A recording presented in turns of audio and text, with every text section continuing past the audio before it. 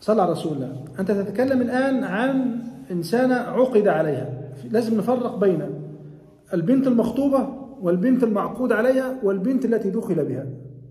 البنت المخطوبة يعني مخطوبة ده لم يعقد عليها عقد الزواج وإنما ال- ال- الخطبة كما قلنا ده مجرد وعد بالزواج.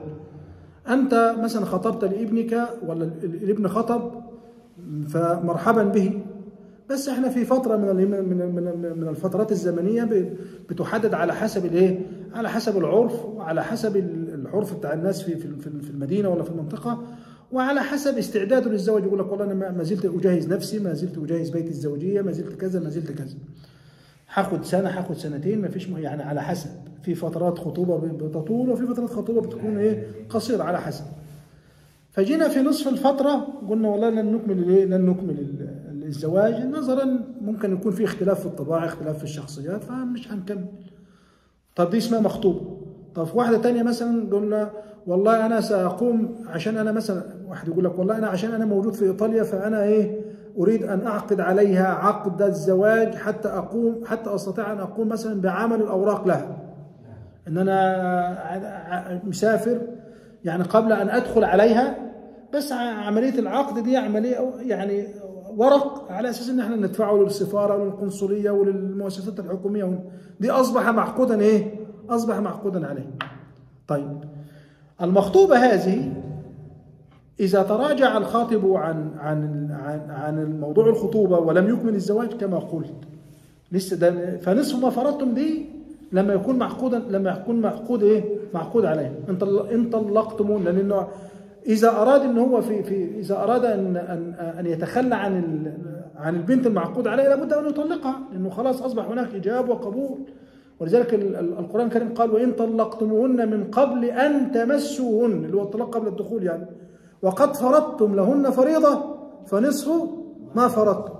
بس هنا ربنا قال إلا أن يعفون أو يعفو الذي بيده عقدة النكاح. اللي عايز يعفو ويتنازل شوف حتى يعني بي- بيترك الأمر للإيه؟ لضمائر الأشخاص وللعرف. يمكن أنا يا عم أنا من أسرة مو- موسره أسرة غنية. واللي أنا ممكن أكون عاطتها حتى 5000 يورو. وأنا مش محتاجهم خلاص ما فيش مشكلة. هو إنما هم مثلا يكونوا مثلا من أسرة أسرة مثلا ميسورة مش عايزين هذا حتى النصف بتاع المار ولا نصف الصداق ولا شيء لا يريدونه. فمن الممكن شوف إلا أن يعفون أو يعفو الذي أو يعفو الذي بيده عقدة الإيه؟ النكاح وأن تعفوا أقرب للتقوى ولا تنسوا الفضل بينكم. دي بالنسبة للمعقود عليه اللي هو كتب إيه عقد زواجها وطلقت قبل الدخول.